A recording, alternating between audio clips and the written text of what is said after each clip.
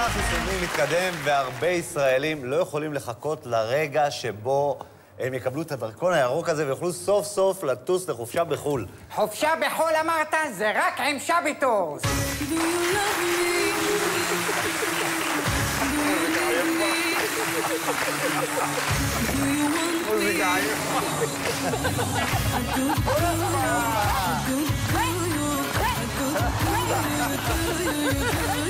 מה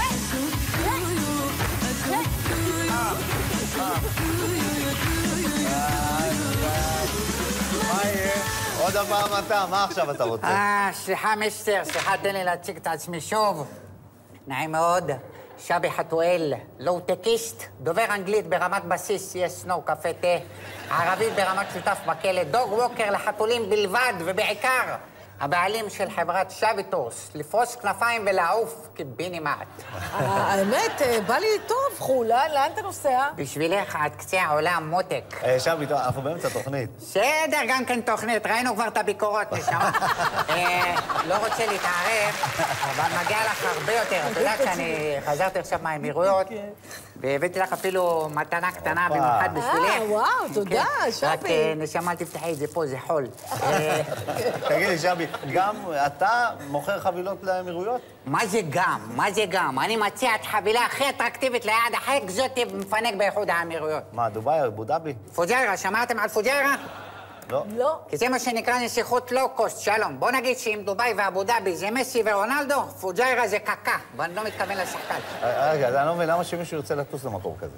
כי פוג'יירה יש את כל מה שישראלים מחפשים בחופשה בחו"ל. מה, אוכל? גועל נפש. קניות? אם אתה בעניין של עז, אז בכיף. קזינו? בואי נגיד שאם את תלכי שם עם שרוול קצר ברחוב, זה סוג של הימור. אז מה יש לישראלים לחפש שם? להיות הראשונים שטסים לפוג'יירה, הרי מה הכיף? להתנסה על החברים, להגיד לו, לא היית בפוג'יירה? איך לא היית בפוג'יירה? הייתי כבר שלוש פעמים בפוג'יירה.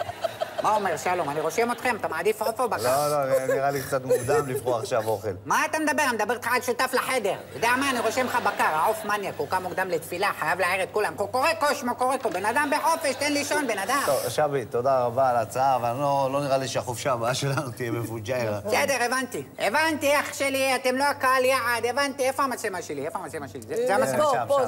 זה, מה זה שלי? עם האור, עם האור. זה המצלמה שלי? כן, פה. אני פונה לאנשים שוויתרו על החיים שלהם. הורים לחמישה תושבי ערערה. אנשים שעושים בבוקר כושר עם אברי גלעד. אנשים שקונים בושם לפידוס מערבי בתחנת דלק.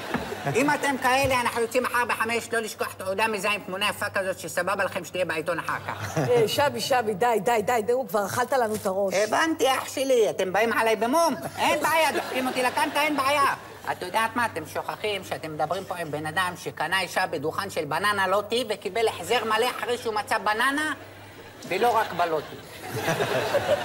שבי, באמת. לא, לא, לא, אתם רוצים משא ומתן? תלחמו, אין בעיה.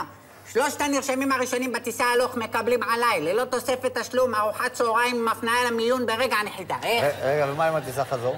שלום, נשמה, אתה טס לפוג'יירה, בוא לא נקפוץ בראש. בסדר, בוא קודם ננחת, הפקח שם זה גמל, ועם דבשת אחת, לא עם השתיים של החכמים. אז מה אתם אומרים, שרין אתכם? אה, לא, ממש לא. בטוח? אני אני בטוח. הבנתי, אז אתם רוצים אולי איזה משחת טייגר? זה טוב שפשפת? לא, זה לא. לא? אתה רוצה תוכי? יש לי פה בבגז. אתה יודע מה? תבין, תן לילדים. אה, באמת? הפתעת אותי, כפרה.